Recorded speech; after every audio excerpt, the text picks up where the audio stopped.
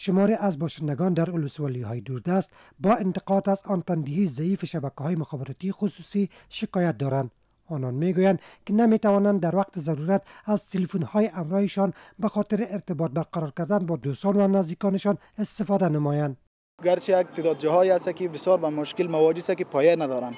باید برای از اون مردم پیام به باید که برای مردم فراهم کنند امی تذکره الکترونیکی و سیم کارت اکثر از ولسوالی های ولایت غور متاسفانه تا اکنون مردم به شبکه های مخابراتی دسترسی ندارند و امیدواری ها به است که حکومت تلاش بکنه تا ای که به مناطقی که تا اکنون شبکه های مخابراتی فعال نیستند با همکاری کمپانی ها شبکه های مخابراتی فعال بشود تا ای که مردم بتوانند از اینترنت و شبکه های ارتباطی استفاده بکنن.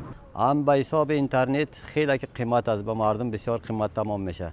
ما می‌خوایم از مسئولین که شاید هم اینترنت هم وسایتش جور کنن که امی قریاجات به حساب این کیلک غوره طرف اسانتاوین رفتیم خب هیچ کار نمیته این طرف آخرای یک باغ این طرف بریم هم کار نمیته یک داخل شهر بیایم خوب است. اینترنت صورتش خوب است.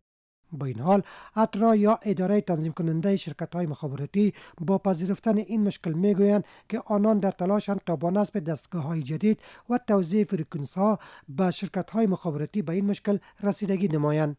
د کیفیت په برخه کې هم د هوادوالو شکایت زیات دي او د کې شک نشته چې کیفیت کې مشکل لرو موږ په هواد کې ولې هغه برنامه چې کوم په جریان کې دی د دې په تکمیلېدو سره به ان شاء الله چې په افغانستان کې د کیفیت مشکل تر ډیره حد حل شي.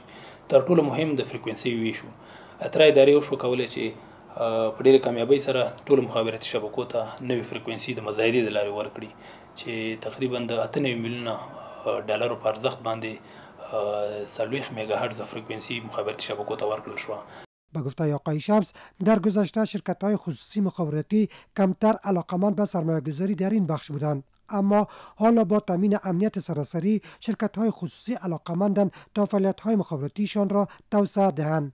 په هیواد کې امنیت دی په لرو پرتو سیمو کې مخابراتي شبکې کوشش کوي چې خپل سیستم شبکه فراخه کړي نوي سایټونه جوړ کړي. همدغه وجه ده چې نن موږ تاسو وینو چې په بدخشان کې په پامیر او واخان کې موږ خدمات لرو.